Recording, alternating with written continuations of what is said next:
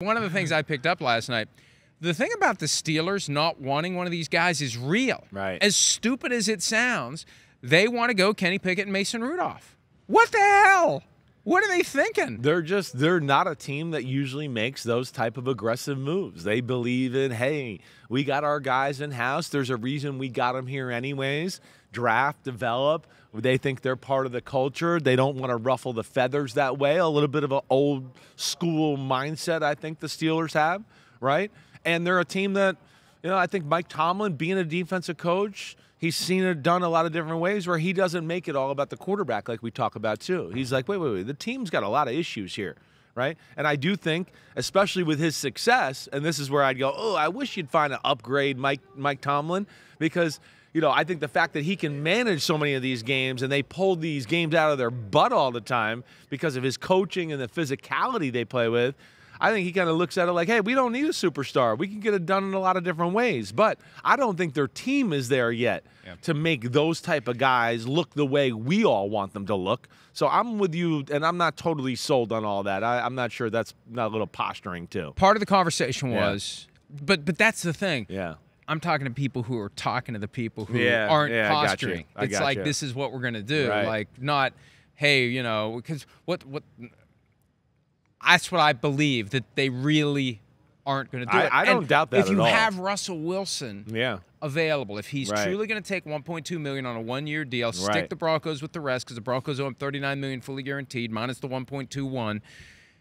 How would you not bring in Russell Wilson Yeah. instead of Kenny Pickett? At least let him compete. And that gets into the whole Broncos, will Russell Wilson be available? You and I firmly believe, and it really is, I'm not going to name names, but like until as recently as late last week, people were saying don't rule out Russell Wilson with the Broncos. Like, are you kidding me? Yeah, I don't yes, rule it out. Yeah. Rule it out.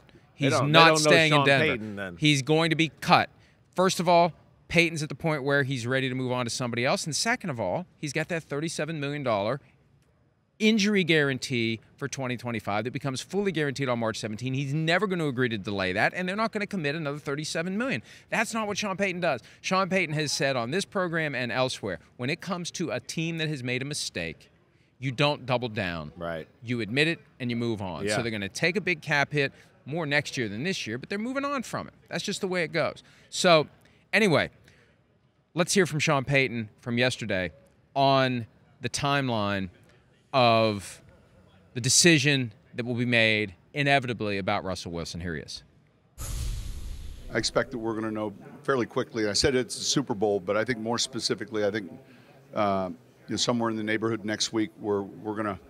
There's a couple factors here. You know, obviously the cap projections came out. Um, we're further down the road with the draft class. Uh, obviously the pro free agents.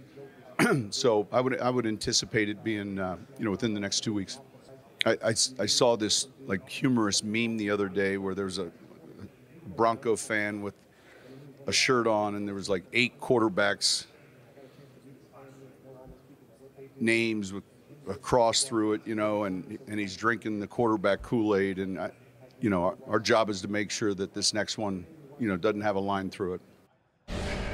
Well, there have been a lot of quarterbacks in Denver since Peyton Manning. When you think about it, it is almost like the Browns Yeah. in that classic shirt that went all the way down one column and then into another column. Well, didn't but he just say the next one? I mean, didn't he the just next tell one. us? Well, I mean, yeah. yeah, yeah. And look, there's no way. That's a great point. Good catch. There's no way they're keeping Russell Wilson. There's no way in hell. I, d- I don't see it. And in the next couple of weeks, look, Right. They the can way Russell. Wilson handled the whole situation, I think some of the things he said that just goes against everything we know Sean Payton likes, respects, right?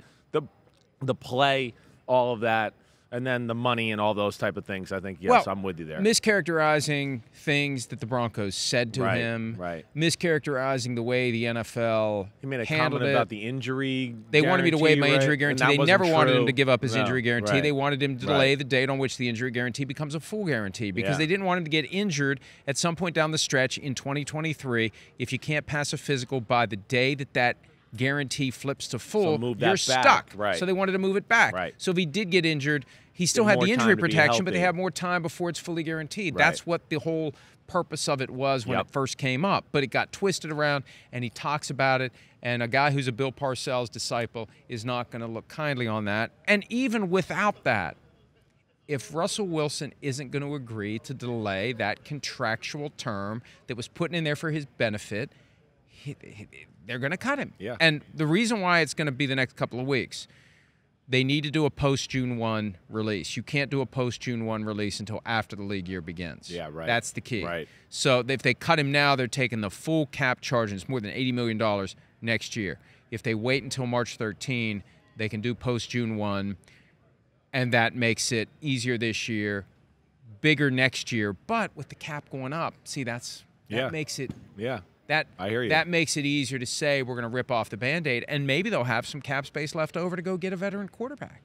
There's, I mean, again, there's going to be options, and I think with Sean Payton, his offense, his confidence in himself, right, what his offense can do, yeah, I, I wouldn't be shocked to see them draft a quarterback, do anything along those lines, get a one or two year band aid type of guy that he feels like can run his offense to you know the best capabilities of anybody that's out there. And then, okay, we'll figure it out as we go with the guy they draft this year or somebody else. But I don't think he's going to be scared to do that. I think the bottom line is with Russell Wilson and all that, there's a guy that could not run his entire offense. There's no point in having Sean Payton, like we said back in the day, right, when this all came about, where I went, there's no point in having Sean Payton and paying him $18 million a year, and we're going to run the same 10 pass plays all the time. You don't need Sean Payton to do that. Sean Payton, the greatness of him is he can throw 90 million plays and rules and checks at you. And if the quarterback can do all that stuff at the line of scrimmage and handle all that, you're going to be in a successful position almost 98% of the time as a quarterback for Sean Payton, right?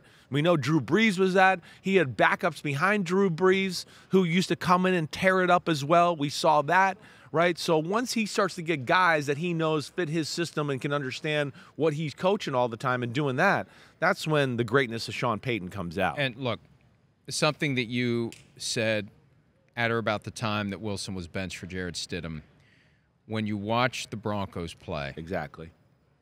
pre-snap, Russell Wilson didn't do any of that stuff No. that we see other quarterbacks do. No.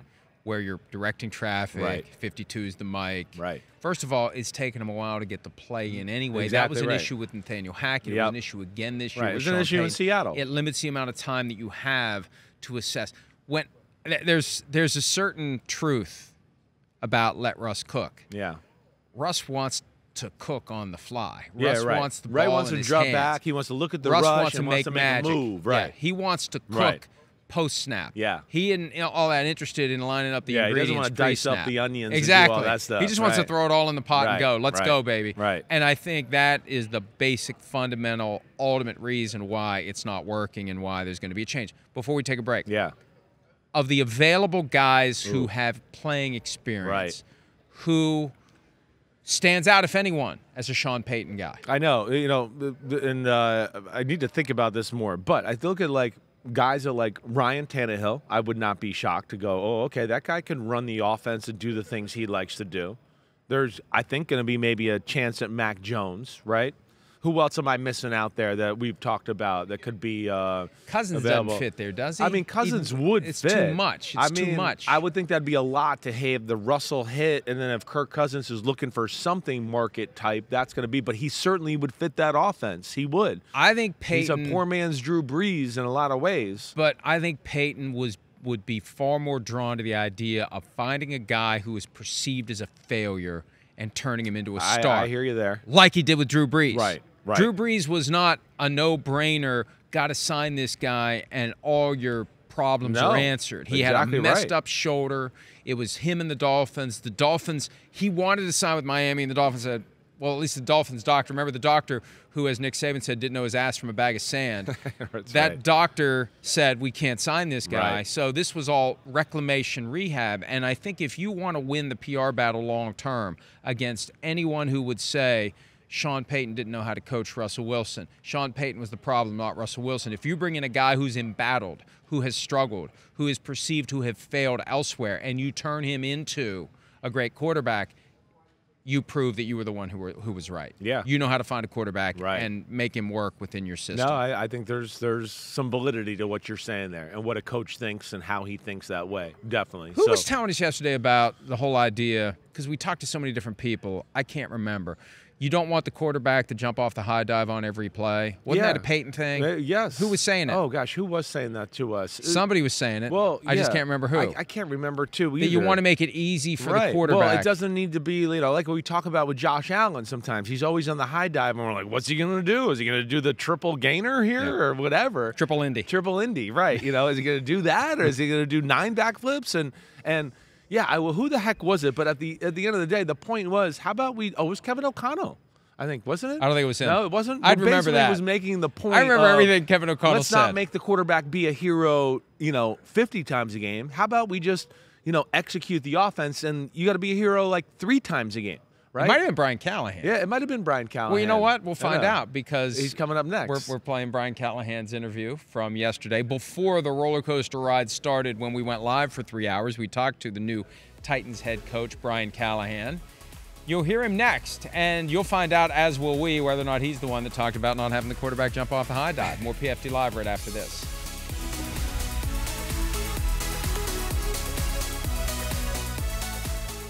Hi, it's Mike Florio. Thanks for watching PFT on YouTube. Hit subscribe for the latest news and analysis from Pro Football Talk.